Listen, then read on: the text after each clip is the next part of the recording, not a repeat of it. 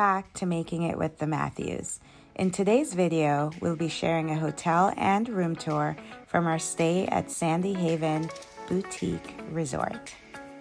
Before we get into this review, it's good to make note that a stay in Negril is quite like a trip to the Tulum jungle. It's mostly off the beaten path where nature and the ocean collide.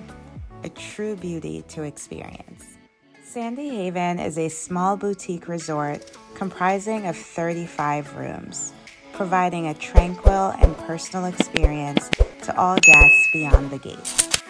The resort is home to the famous Bungos, which serves both traditional and international cuisine, and you do not need to be staying at the hotel to enjoy the amazing food.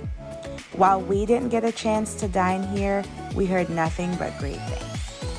Upon arrival, we were instantly captivated by the Jamaican art on display throughout the entire resort, from check in to the rooms. Check in was an intimate experience nestled under a tropical canopy with the sounds of nature as your backdrop. Just a dream. I'd also say the process was smooth and quick. If working out is a priority while on vacation, you'd be happy to know there's a small gym on the property. Though we were a little bummed that not all the machines were operative during our stay, you could still, in fact, get a good workout. If relaxing is the name of your vacation game, then you're in the right place. You have the tranquil gardens that leads to the pool that's open 24 7. Adjacent the pool is the hot tub that is also open 24 7. The resort offers spa services and amazing massages poolside or beachside, your choice. We love the vegetation on property as well and being able to teach our daughter and niece all about Jamaican fruits was truly a highlight.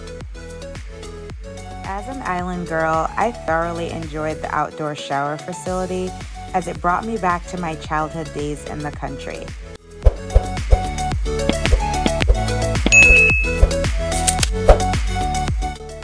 Outdoor bathroom was also well situated for easy access while lounging on the beach.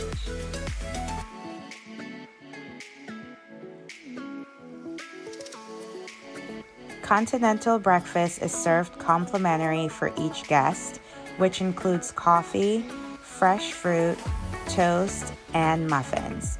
You can also order the Jamaican breakfast, which we did most days.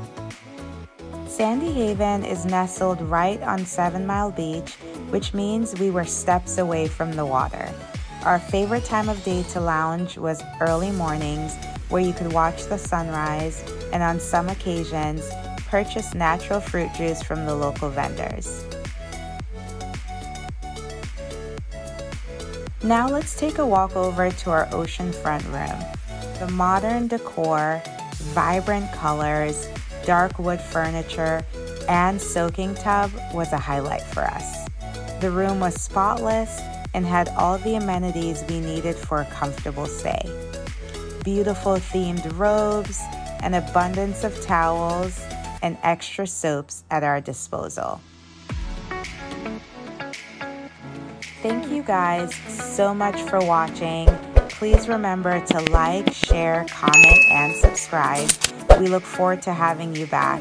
But until then, walk good.